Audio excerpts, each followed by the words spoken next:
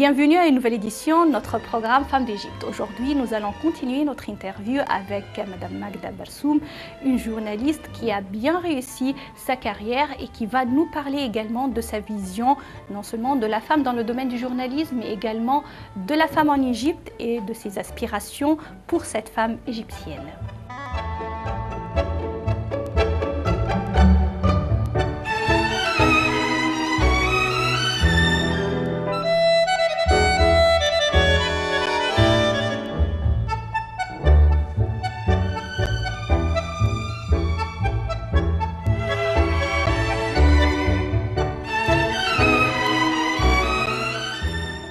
Madame Magda Barsoum, bienvenue à notre programme Femmes d'Égypte. Alors, euh, vous aviez une carrière de journaliste au cours de laquelle vous avez plusieurs euh, objectifs à accomplir. Est-ce que vous vous êtes préparé pour euh, cette carrière de journaliste? Est-ce que vous avez accompli une formation journalistique? Si je vous dis un secret que j'ai pas fait même la carrière dans l'université comme professeur, parce que les enfants étaient aussi petits. La première carrière, ça a été après 20 ans de mariage euh, comme journaliste. J'étais nouvelle journaliste, j'étais un peu plus âgée que les filles qui, se, qui, venaient pour rentrer euh, dans les vingtaines. Alors j'ai travaillé beaucoup plus.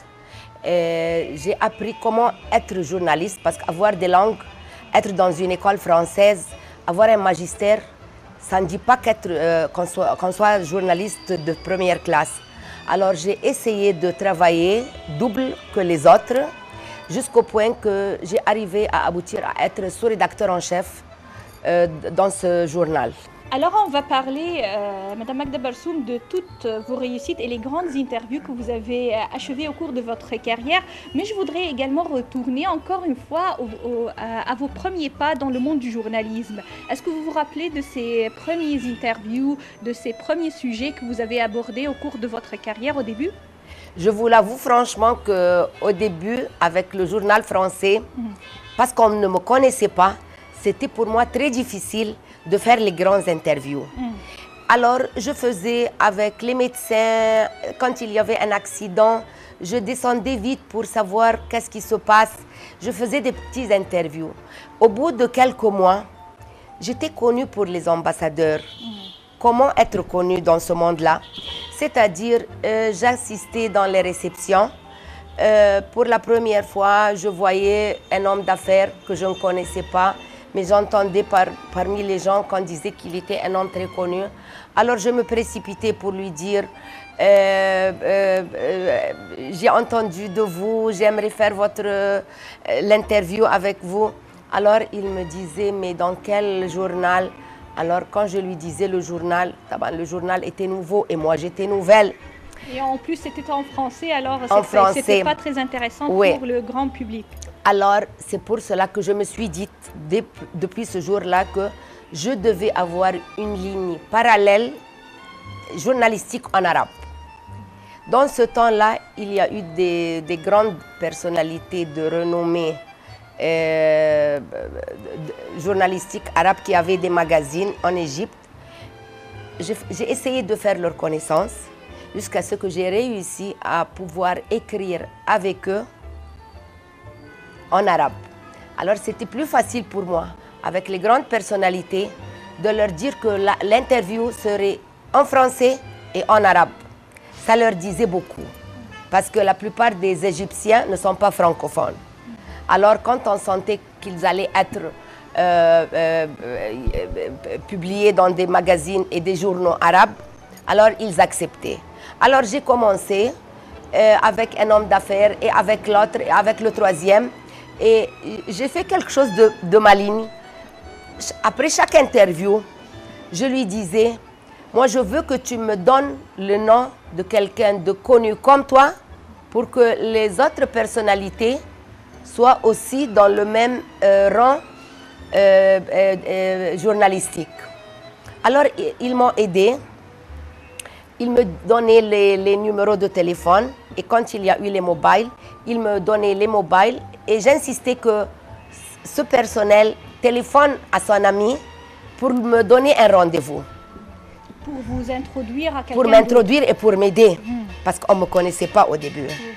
Et c'est d'ici que j'ai essayé intelligemment de faire comme si j'étais connue sans lettre. Et ça a marché.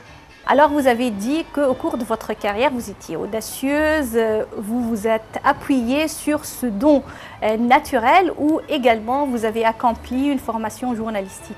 Si je vous dis que c'était un don naturel, c'est la personnalité. Et, et, moi, plusieurs fois, je me suis dit que si j'aurais essayé d'être dans un autre boulot, peut-être je n'aurais pas réussi. Parce que ce domaine dépend de ma personnalité. Moi, j'aime les gens, j'aime être au courant des nouvelles, malgré qu'au début, je ne lisais pas beaucoup. J'étais occupée avec mes enfants. Euh, je n'avais pas le don euh, de lire parce que j'étais occupée. Mais dès le premier jour que j'ai décidé d'être journaliste, je lisais tout, j'étais informée de tout. J'ai passé beaucoup d'années sans travailler. Alors pour réussir, j'ai essayé de rattraper tout ce qui m'a passé. Est-ce que c'était difficile de commencer une carrière de journaliste étant donné que vous êtes femme? La, la, carrière journalistique est difficile en général, mais parce que heureusement j'avais le courage dans ma personnalité, euh, je pouvais arriver à tout ce que je voulais par moi-même. J'ai n'ai pas beaucoup euh, senti euh, cela. Il n'y avait pas de difficulté? Pas beaucoup de difficultés parce que je savais comment aller, où aller, à qui parler, quand parler et quand ne pas parler.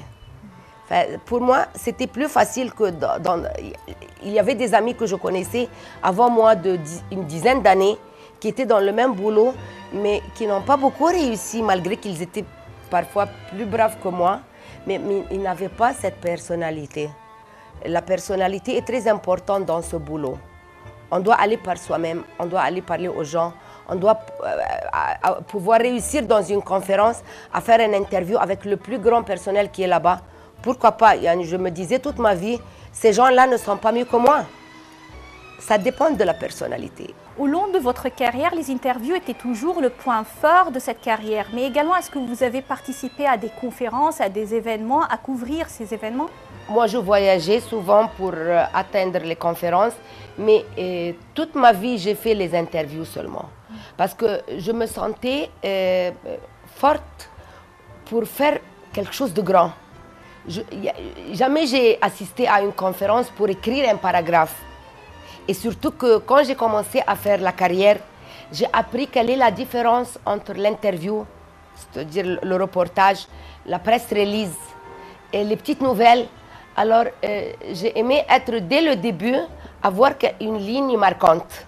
Et c'était, j'étais l'unique dans mon journal à faire euh, les interviews, les grandes pages. Alors maintenant, nous allons parler un peu de votre vision de la femme en Égypte. Commençons avec la femme journaliste. Quelle est votre vision de la femme dans le domaine du journalisme?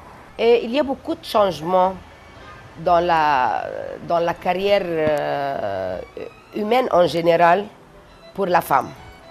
Euh, on voit maintenant les femmes euh, partout. Euh, les femmes presque sont plus que les hommes dans les boulots et surtout dans le domaine journalistique. Je, je vois qu'il y a beaucoup de femmes ambitieuses qui ont beaucoup de personnalité, qui aiment aller, venir, voyager, parler, faire des commentaires. Je vois qu'il y a une je vois que le domaine de la femme est devenu plus positif qu'avant. Est-ce que vous croyez que la femme égyptienne a réussi euh, comme journaliste? Je vois qu'il y a des femmes qui essayent. Et je pense qu'il y a, je ne suis pas au courant journalier de ces femmes, mais je vois qu'il y a beaucoup de, de progrès. Alors il n'y a pas de différence entre hommes et femmes? Je ne pense pas. Parfois, je sens que la femme est plus forte dans ce domaine. Mm. Parce que euh, d'habitude, les gens sont plus gentils et compréhensifs avec les femmes. Est-ce que la femme en Égypte a obtenu tous ses droits selon vous? Je ne pense pas que la femme a beaucoup réussi en ce qui concerne les lois municipaux et législatives euh, dans le domaine parlementaire. Mais je pense qu'après le 30 juin, euh, et les femmes qui étaient dans les rues, dans les démonstrations, ce qui veut dire que la femme a commencé à être un peu euh, intéressée de la vie politique en Égypte. Et j'espère que dans le prochain futur, euh, les femmes feront beaucoup de choses en Égypte. Alors, quelles sont vos aspirations concernant la femme égyptienne? Je veux qu'elle rentre dans tous les domaines qu'elle n'a pas réussi à, à avoir une place. Le domaine parlementaire. Jusqu'à présent, pour les sièges et pour tout ce... Ça, c'est un document. La femme n'a pas eu la, belle place qu'elle devait avoir dans, dans, dans, le Parlement. Alors, vous êtes euh, pour un quota précis accordé à la femme au cours des législatives? Sûrement, et j'espère, j'espère, j'espère voir une quantité de femmes prochainement dans, dans, dans ce domaine-là. Mais on dit que hommes et femmes, ils sont égaux et que le meilleur gagne et c'est pourquoi il ne faut pas accorder un quota aux femmes pendant les législatives. Je pense que ça c'est vrai, mais eh, si la femme n'aura pas la chance d'être introduite, alors elle doit euh, atteindre le quota. Parce que sinon, ni elle va le prendre avec le quota, ni elle va le prendre avec les élections.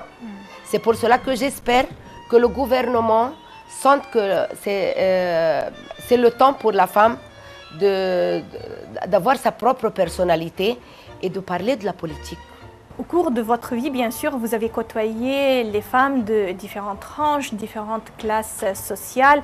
Je voudrais savoir, selon vous, la femme qui appartient à la classe moyenne ou la classe ouvrière, est-ce qu'elle souffre plus que les autres? Jusqu'à présent, il y a, la majorité souffre. Hmm. La majorité des femmes souffrent parce qu'elles n'ont pas abouti à avoir une bonne chance euh, dans leur boulot. Et j'espère que les jours prochains, on fera attention que la femme doit avoir un rôle plus positif, un rôle plus courageux et on, on doit les aider à avoir une meilleure vie. Selon vous, alors, comment la femme égyptienne peut-elle avoir tous ses droits? Moi, j'espère que la nouvelle constitution, dans cette nouvelle constitution, il y aura des, des, des, de nouvelles règles et on prendra un peu plus soin de la femme pour qu'elle puisse parvenir la, la vie d'une façon euh, convenable et avoir tous ses droits comme l'homme. Madame Magda Barsoum, récemment, vous avez eu une décoration de la part de l'Italie. Parlez-nous un peu de cet événement. Comment vous avez eu cette décoration? Pour quelles raisons? Euh, Qui était présent au cours de cette festivité? J'ai eu l'honneur, à l'an 2011, d'avoir un coup de fil de l'ambassadeur italien dans ce temps-là, euh, euh, euh, Claudio Pacifico. il m'a dit, venez prendre un café avec moi, j'ai une bonne nouvelle pour vous. Je suis allée sans, sans avoir en tête n'importe quelle idée, ce qu'il allait me dire. Après le café, il m'a dit que le président italien a décidé de me donner la décoration, la fine décoration commendatori et pour l'excellence dans les interviews en arabe et en français, surtout pour les personnalités italiennes. J'étais très heureuse d'entendre cette nouvelle.